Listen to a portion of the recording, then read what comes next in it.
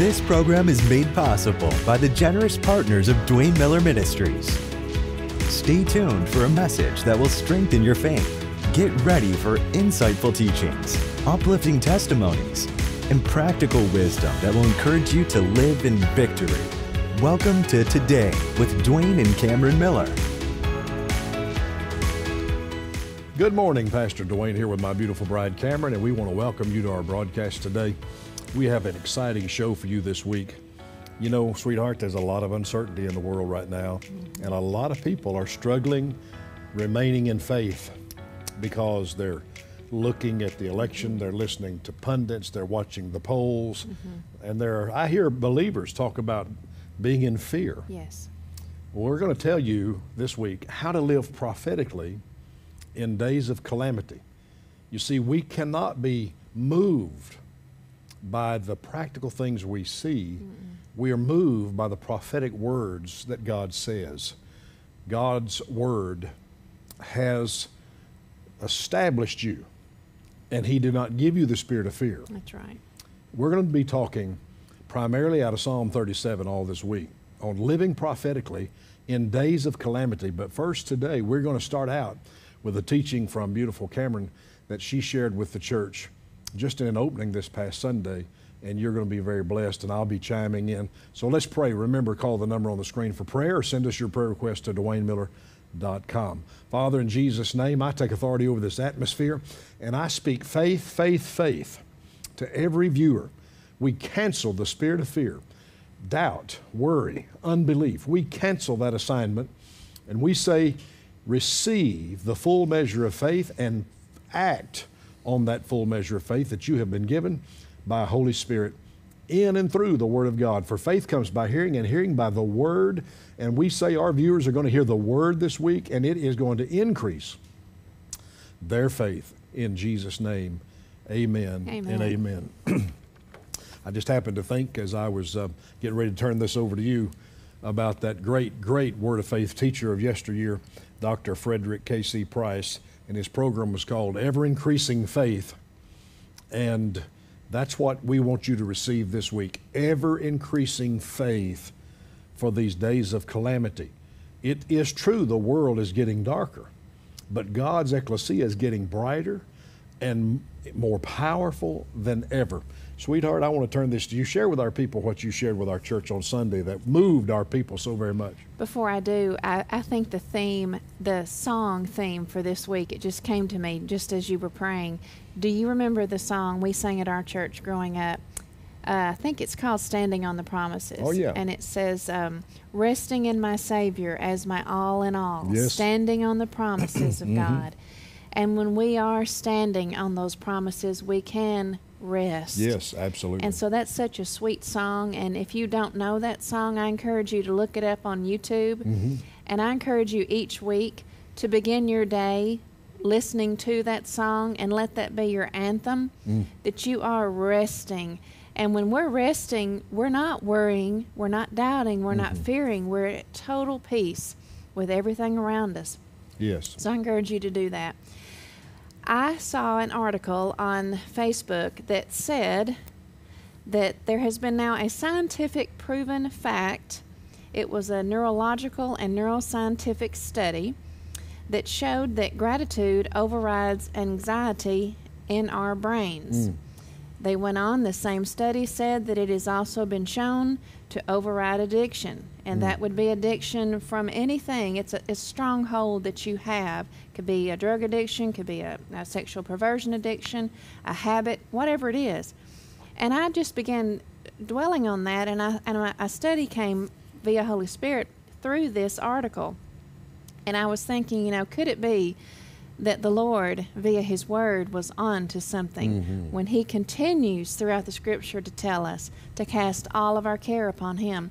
Because, I'll get to the because in just one second, but it's doubtful that you're going to find a scientist, you might, who is a believer, to admit that the true process of this, by doing so, by taking your gratitude and overriding these things, by doing so, what you're doing is you are remaining in gratitude, mm-hmm. thereby shifting the weight of the world, the weight of the addiction, off of your brain and onto the Savior, your source. That's ultimately what's taking place, Wow. which is God's intended and perfect alignment. This is the only way to survive 100% successfully in this fallen world, which we are in but not of. Where He then becomes the source of it all. Mm-hmm. He is what you're standing on. His promises are what you're standing on and resting in, whereby He has your health, your wealth, your influence. He has your ear, your heart, and your trust. This is the status a son, an intimate, resides in. And we have talked about sons and intimates quite often over the past few weeks and months. That is the ultimate level of maturity spiritually.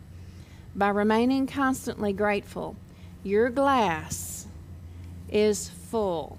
This white glass here, it's completely white inside and out, top to bottom, stem to stern. It is full.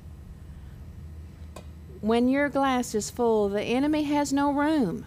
Now, let your glass obviously be your heart, your spirit, your mind, your being, your whole flesh, your whole self. When we are praising, when our hearts are running over with gratitude, there is no room for worry, doubt, fear, mm-hmm. unbelief. In other words, li- the list could go on. I boiled it down to those because it's anything contrary to the Word. Mm-hmm. When we are praying in the Holy Spirit, also, there is no room for your sin nature to rise up. That's right. When we are intimate with the Father, there is no room also for failure. Mm-hmm. When your glass is full of faith and you see the son or the daughter missing from the church pew, your faith, your supernatural vision instead sees them in place serving the Lord. So, what is happening to you at that moment is exactly what this neurological study showed. You are transferring the worry that you have and replacing it with faith. Therefore, when you see that missing seat there where your son or daughter should be serving the Lord, instead of wringing your hands and worried out in fear, your supernatural spiritual vision of faith sees them sitting there serving the Lord. Therefore, you rise up with praise. That's how this works. Mm-hmm. When your glass is full of faith and you see the lack in your bank account or your health, whatever it is that's lacking, you fill in your blank. It's all covered under the cross. So there's nothing that you've gone through or are going through at the present that this does not apply to. Your supernatural vision, if your cup is full of the Word and faith, sees blessing and mm-hmm. restoration regardless of the issue. So I did a little illustration with this Sunday. and I'm going to move my stuff just a moment. Just to kind of give us a tangible thing to visualize. This is the cup that I was talking about. The white represents full of the word, full of faith, to the brim. When we add our trust and rest in God, then He activates and our cup runs over. Mm. And it remains so. Keep it remaining so. Mm-hmm. Add more of the Word, mm-hmm. add more of His promises. Keep adding daily as you go along. Don't let it be a one and done. Mm-hmm. It's a constant. Let this mind be in you, which was also in Christ Jesus Yes. always be in the Word. That means always be adding God and the rest and the trust mm-hmm. to your cup and let it always be an overflowing situation. Mm-hmm. God always overflows Yes. with His blessing and with His promises. Thank you, sweet. Hallelujah. These biblical principles are real. This word is not just to give you a comfort and an emotional, temporary high. Oh boy, you better know it comforts. Yes, it does. Yet, if received and worked, the work is when you allow God to fill. Mm-hmm. And your words confess. That is also the work. Then the comfort, which can sometimes be temporary, is transferred to a permanent status where the comforter is now there versus just comfort. The eternal, yoke destroying that we read about in Jeremiah 30, verse 8, burden removing, Isaiah 10 27, miracle working power of God in us and mm-hmm. for us. So I'm going to tell you something. If you reach out to me and I give you a word to stand on, and I, when I say me, that's any pastor. I'm just going to use me as an example. When you reach out to anyone and they give you a word to, to stand on, to declare verbally, to decree the outcome of your life, after that word is given, after that direction is given to you, we don't want to hear, oh, that means so much to me. Thank you. You just blessed my heart.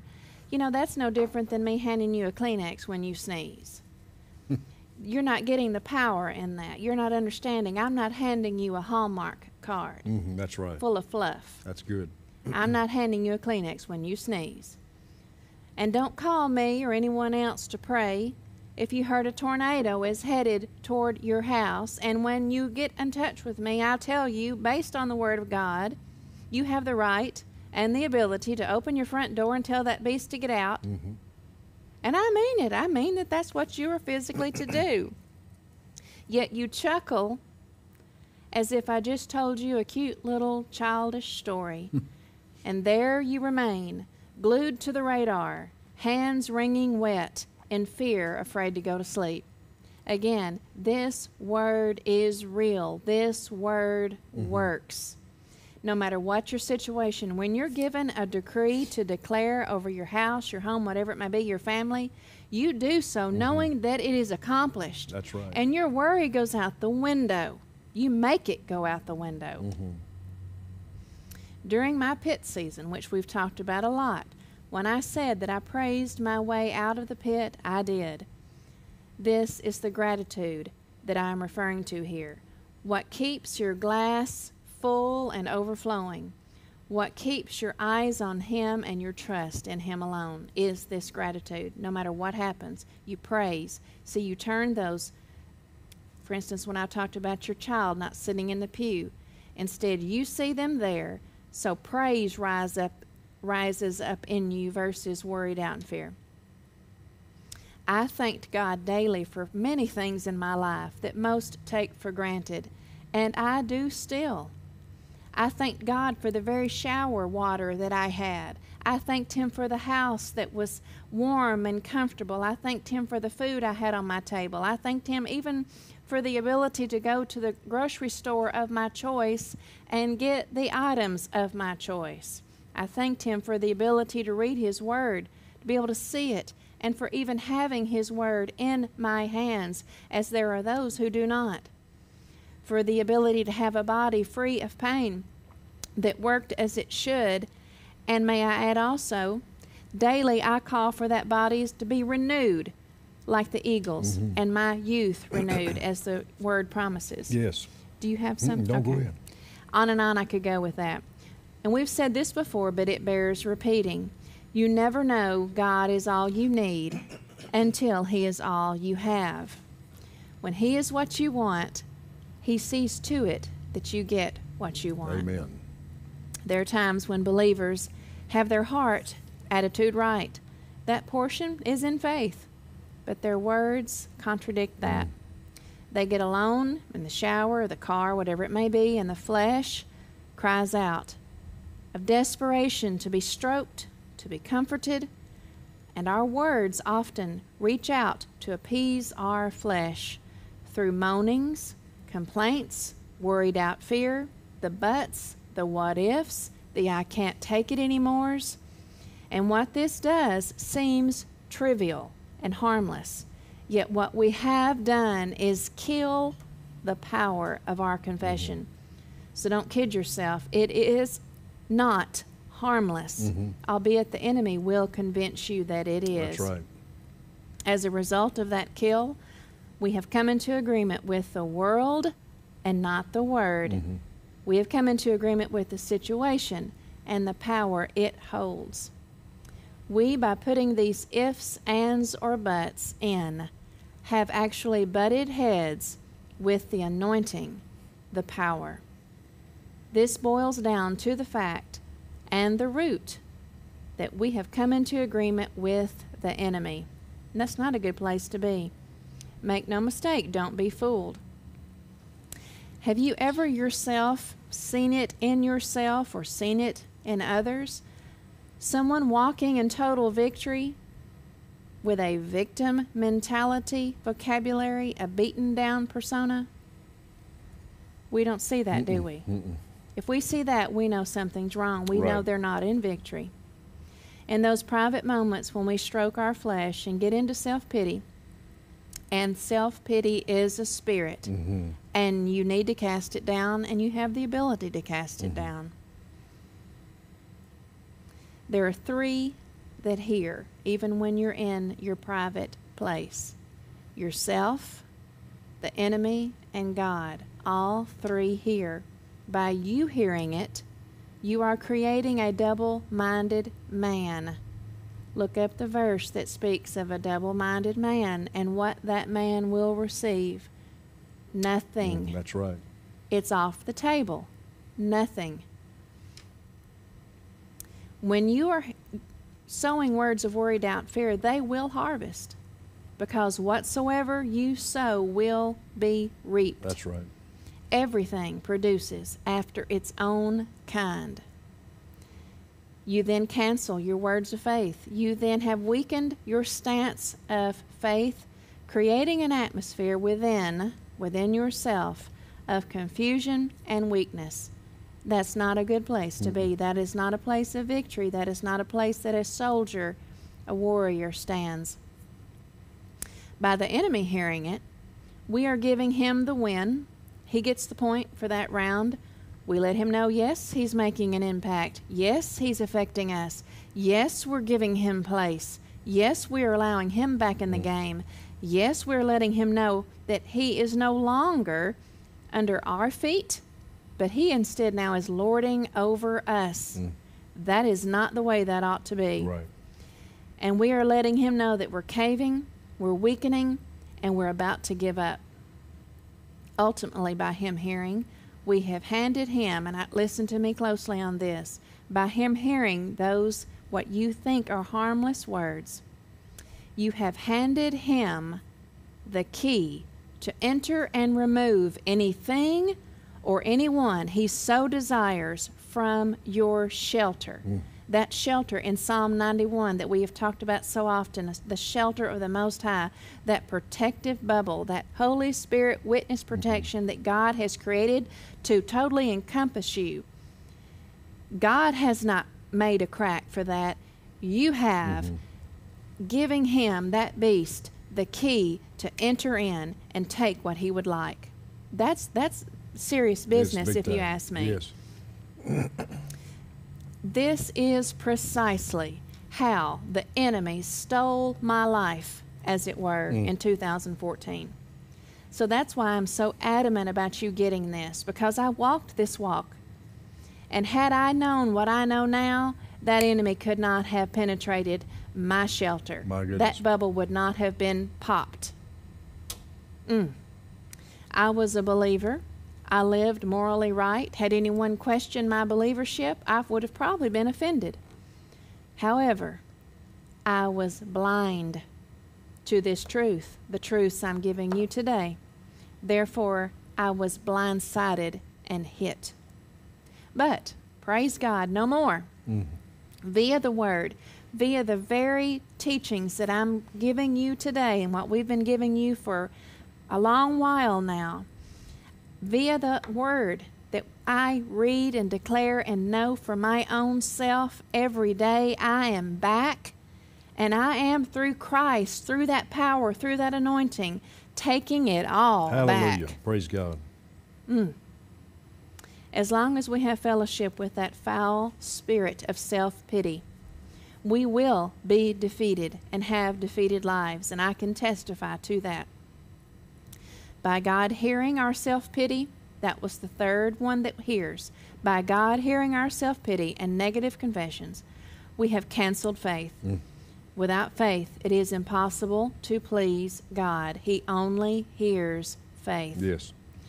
So, therefore, we have shut him out. He did not leave us, we left him. Our opened door is now at the disposal of the enemy. Our gifted shelter has been compromised, mm-hmm. and it's us to blame. Look in the mirror. I had to look in the mirror.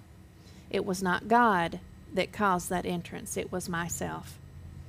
When you're reading scripture and you come across a promise, it puts it into a different perspective. For me, if I flip it, if I turn it around, for instance, the verse that says, The just shall live by faith. I flipped that and I read it back this way They die by unbelief. Mm. Now that's pretty powerful, isn't it? The next verse that we all know without faith, it is impossible to please God. Flip that. With faith, we please Him. Yes. Words, confessions of worry, doubt, and fear cancel our faith, even one. When we talked about flipping the verse just now, let's flip this illustration. The glass is full. In this case, what was the hand of God is now poison. This was the hand of God. Now let's pretend it's poison. We're going to flip that script. Worry, doubt, and fear is in here. It's like poison and we lose what mm-hmm. we had worked so mm-hmm. to keep. That's right. It's killing it. And it spills out and it's gone.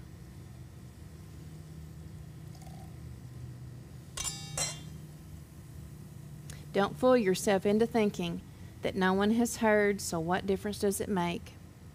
After all, I'm human. God knows my heart. I used to use that excuse regarding a lot of things. It doesn't work. Mm-hmm. That's right. A lot of people, when they're talking about giving or tithing, they say, God knows my heart. He knows I could if I would. Well, with that, what does the word say with that one particular item? Give and it will be given. Good measure, pressed down and running over. Speaking of flipping scripture to see the opposing outcome, flip that one. With God, all things are possible Amen. flip that one. Faith without action is dead. Test me in this and see will I, if I will not open the windows of heaven and pour out such blessing you won't have room enough to receive it. Flip that one. Mm-hmm. You have no argument, not where the word is concerned. If your actions, your motives, your views, your words, your flesh does not line up with the word, there will be consequences. And it's not because God is a God who punishes, punishes us mm-hmm. to be what He called us to be, That's right. but it is because His Word works. Mm-hmm. Without it, He will not back it. Without faith, it is impossible to please God. Mm-hmm. Did your parents reward you when you were growing up for cleaning two thirds of your room? If they asked you to clean it all? Follow His Word and be blessed. Get outside of that shelter, that protective place, and it's now on you. That's right. You're then responsible. Faith is the key that opens the floodgates of heaven. For us here on this seemingly demonically oppressed fallen world, faith breeds gratitude, joy, strength, wisdom, favor, blessing, protection from harm and illness. Flip it. Oppose, ignore, bypass, take for granted the words of God, and kill it all. Mm. For the remainder of this year, we certainly feel that there's a door. We feel it very strongly. Someone may ask, well, do you have scripture to back that up? I feel we do. We base this feeling and, and, and word from the Lord on Psalm 124. That's proof that the enemy attempted or succeeded in something. Else there would be no need to say, had it not been for mm-hmm. the Lord. Right. The devil has never in the history of mankind been so bold. He used to take the back door and slither in quietly and take his prey without notice, not unlike a python, with poor vision, had to rely on his forked tongue to trick and manipulate and smother in order to capture. Now he stands erect, marching in with pride. Mm-hmm. And the Lord wanted me to emphasize that word pride. Mm-hmm. Being praised by those who inhabit our White House, who are the wealthiest industrialists, who are the most admired singers and performers, who openly worship Him on stage and screen. But had it not been Hallelujah. for the Lord, mm-hmm. and I will add, he had to, back in the day, enter the back door because the body of Christ was guarding the front door. But even then, we failed to guard the back. And eventually, the front was left unguarded. And here we are. God never leaves us unprotected, however. There's good news. He warns through Holy Spirit, His Word, His prophets. Take this warning be a son who knows the Word born again, your heart is on Him. Two, baptized in Holy Spirit, you are submitted to Him. I'm going to go through this fast as I can. Three, grateful to tithe, therefore you trust Him. Mm-hmm. Four, no nothing shall come near your dwelling, mm-hmm. you rest in His complete covering. Hallelujah. Thank you, sweetheart. What a powerful message. What a powerful show. What a powerful illustration. Whatever you're full of, whether it's the word or worried out in fear, activates God or the enemy in you mm-hmm. to produce either for the glory of the kingdom or the kingdom of darkness. So take this message to heart and stay filled with the Word of God and full of faith and let it be your confession. Thank you for that. What a great job. We're going to come back tomorrow. We're going to be talking about living prophetically, taking this illustration and practically putting it to work in your life. Living prophetically in days of calamity. We're living in uncertain times, but listen, the Word is certain, and when you confess the Word, you are certain, and you control the atmosphere and the environment you live in. No more fear, but full of faith. Listen, God bless you. Call someone and tell them to join us every day at 4.30 and 10 a.m. right here on VTN. And until tomorrow, you have a blessed and wonderful day. We'll see you tomorrow on VTN. God bless.